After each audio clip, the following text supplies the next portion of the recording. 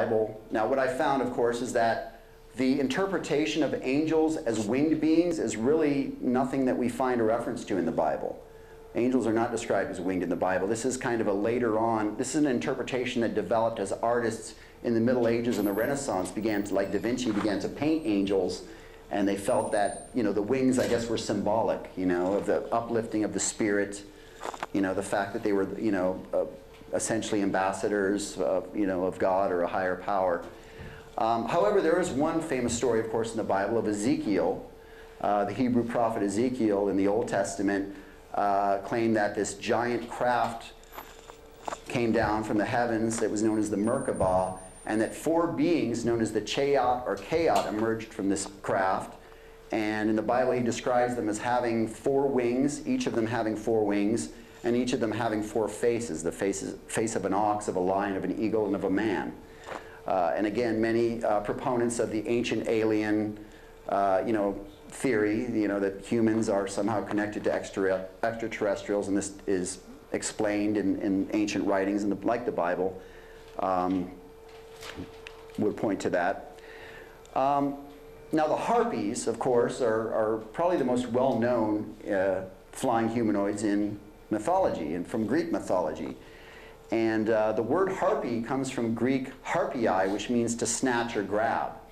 And uh, the harpies are, uh, they make an appearance in some of the, make a, multiple appearances in some of the great works of literature, like uh, the Aeneid, uh, the Odyssey, uh, Dante's Inferno, and so forth. And harpies are generally described or believed to be um, you know, a, a bird-like form with the head of a hideous, pale-faced hag or woman with long flowing hair and human-like breasts. And it was also uh, written that they were uh, essentially very foul-smelling creatures and that they would come down and snatch the food off of uh, the tables of nobility and, and kings and things like that, and that they would leave this horrible stench behind. So very, very swarthy creatures. Um, in Russian folklore, we can find the Alkonost.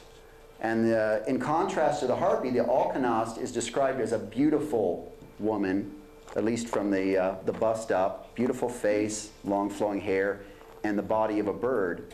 Uh, very similar to the, uh, the siren in Greek mythology. And I think there's some confusion or ambiguity there between harpies and sirens.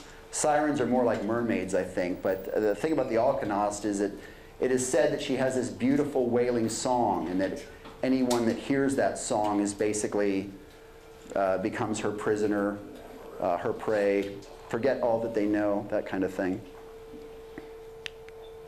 Okay, so many, many examples, and in fact, I, there's an appendix in my book where I discuss many, many examples from different mythologies and folklores around the world of these beliefs in these sort of winged humanoid-like creatures. So this is just, I kind of just condensed that to, to run over a few of those because uh, I really want to get into the modern sightings and modern accounts.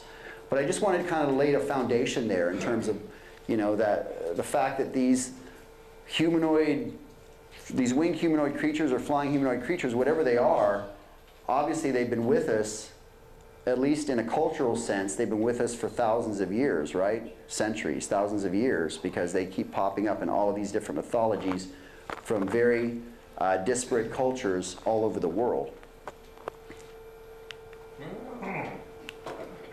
So, here's one that has a slightly more modern um, take. This is known as the Popobawa. And the Popobawa is an African Batman type of creature. And what's interesting about the Popobawa, and this is kind of a, a, a sketch that's uh, a friend did for me, it's kind of described as kind of a flying monkey or a flying primate, leathery wings, forked tail, kind of ravenous and, and evil there. The Popobawa is believed to exist uh, off the coast of Africa on a small island known as Pemba. And as recently as the 1990s, there was actually a rash of Popobawa sightings or encounters that were reported on this African isle of Pemba that actually resulted in mass hysteria. And that spread to the mainland of Africa, to the nation of Tanzania. So just kind of an illustration there that oftentimes that these folklore creatures uh, do sort of pop up or appear in modern uh, scenarios. And uh, this is Dr. Karl This is Dr. Karl Shuker. Dr. Karl Shuker is, you know, one of the preeminent cryptozoologists in the world. He's, uh, uh, he lives in England and he writes for um, Fortean Times magazine. If any of you read Dr. Shuker's Zoo, Crypto Zoo, that's kind of his article. But I asked Dr. Shuker to write the foreword to my book because he had actually written about different flying humanoids in some of his other books. He's got a number of books out there, and uh, I could tell he shared a keen interest in these creatures. Um, and I, of course, I was quite honored that he did write the foreword to the book. Now, he's holding a little figurine here that I believe is from that movie Van Helsing. Um, but uh, Dr. Shuker does write about, one of the creatures he writes about is known as the orang bati, which is uh, from the island of uh, Java and orang bati, actually, the literal translation is man bat. Those of you that are connecting the dots out there, orangutan, which is from the same region, of course, means orang means man, and atan means from the trees. So orang bati means man bat. And so again, uh, the descriptions are basically a hybrid or a cross between human-like and bat-like characteristics, leathery wings, the orang bati is again greatly feared by the local Moluccan people on the island of Java because it apparently swoops down uh, from a, a, great volcano at night and snatches small children and women and, and takes them off to their death. So, okay, now getting into a little bit more of a modern context, I wanted to really broaden the scope of the book. So, I mean, there, there, there was certainly a wealth of material with regard to traditional flying humanoids. Um, but I just thought it would be fun to kind of explore some of the other uh, sort of uh, inexplicable figures that we can find in Fortean literature. And so I write about this, oh, keep doing that, sorry. This is Spring-heeled Jack. I mean, you've ever heard of Spring-heeled Jack? It's actually a great story. It's uh, Spring-heeled Jack is sort of a combination between uh, an urban legend and a supervillain, I guess. Uh, but there was a gentleman that got in touch with me named Jonathan Lackey. And I've interviewed him several times over the phone uh, at length, and he's, his story has remained very consistent, and he really strikes me as a very credible person. And he, in fact, he told me initially, he said, Ken, you know, I used to not want to tell people about this, but you know, I've gotten a lot older now, and I've just gotten to a point in my life where I just don't really care what people think because I know what I saw, and this is what happened. And what Jonathan told me is that when he was a young man, he and a friend were kind of driving on a remote road uh, outside of Yardley, Pennsylvania, which is just across the river from um, the Delaware River from New Jersey. And they had just bought this fancy spotlight that they had installed in their car. So they were kind of driving around on these remote roads and spotlighting animals and things. And at one point, as they came over a hill, they could see this animal walking across the road in front of them. And so they shone the spotlight on it.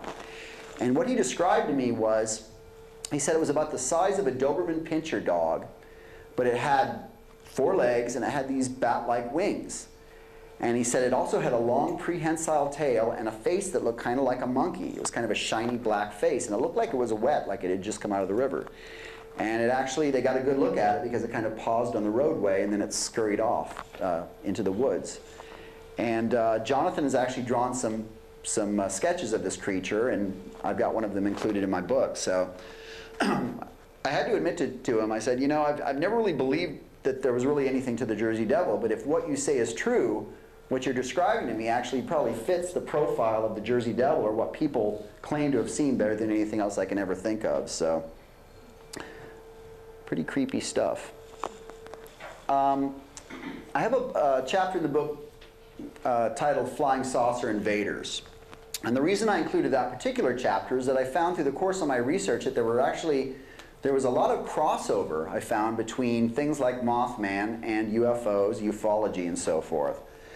And there are actually many accounts that uh, took place during the 1950s. And I, I, imagine many of you here are probably familiar with you know, the history of ufology and how that whole thing developed. Uh, but since Kenneth Arnold's famous sighting in 1947, where the phrase flying saucer was coined, Throughout the course of the 1950s and during the Cold War, there were several incidents around the country that involved virtual flying saucers have landed scenarios. And uh, some of those included sort of uh, what, uh, what I would describe as gravity-free beings that emerged from these different crafts. Uh, one of the most famous cases, gosh, I can't believe I keep doing that. Okay. One of the most famous cases involves the Flatwoods Monster. And the Flatwoods Monster, uh, this, is, uh, this occurred in Flatwoods, West Virginia, which is actually not too terribly far from where the Mothman resides. But um, in uh, uh September of 1952, in this remote area of West Virginia known as Flatwoods, there were several young boys out playing football uh, when suddenly they looked up and saw this giant reddish orange ball of fire flying through the sky above their heads. And it was moving kind of slow, or they thought it did. And it seemed to land on the top of this giant hill at the edge of town. So, you know, this was, of course, at, the, at that time period when flying saucer movies were out and it was kind of in the public consciousness. So they thought, well, maybe this is a flying saucer or maybe it's just a meteor, but let's go investigate this. So the boys got all excited and they charged up this, this hill to go see what this thing was that had landed. Along the way, they actually um, were joined by two adults, a woman named Kathleen May and a young man named Eugene Lemon, who had just enrolled in the enlisted in the army, and he brought his dog along.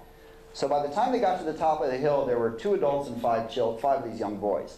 And as they neared the top of the hill, they could smell this weird kind of stanic smell. And suddenly they, they looked up and they saw what they perceived to be two red glowing eyes looking down at them from high up in this tree. And as Kathleen and Eugene showed their flashlights up, they were kind of leading the pack. Suddenly this figure, according to them, took life.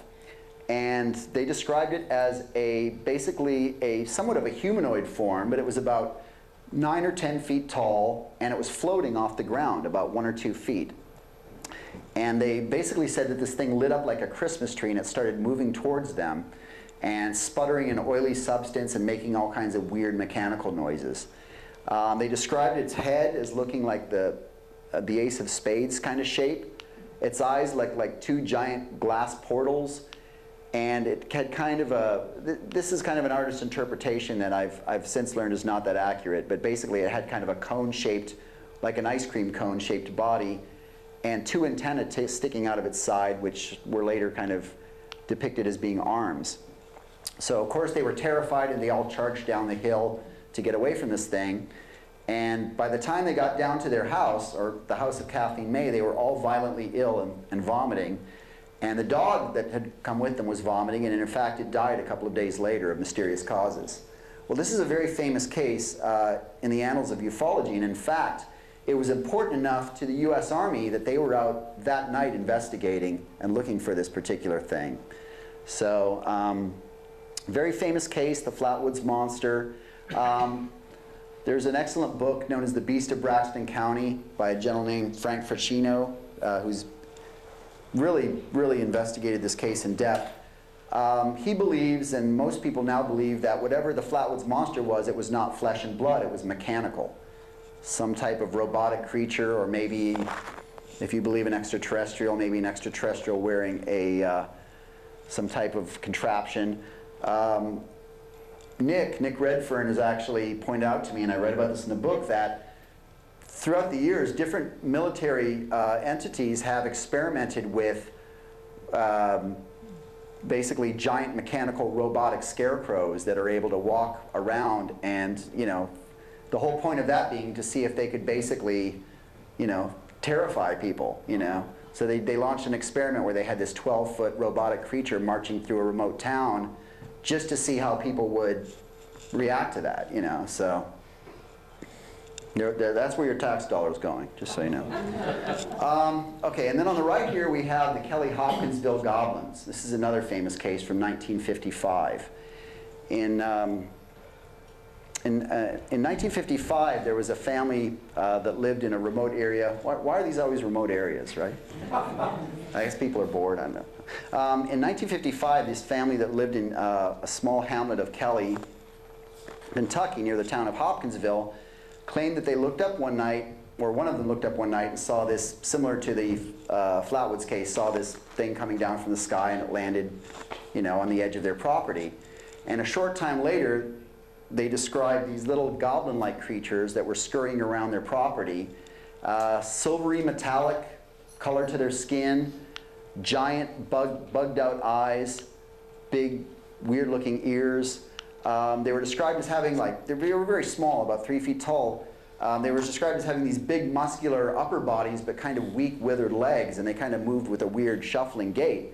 But what was weird about these creatures is that, and I kind of joke in my book that, you know, as you might expect in the remote mountains of Kentucky,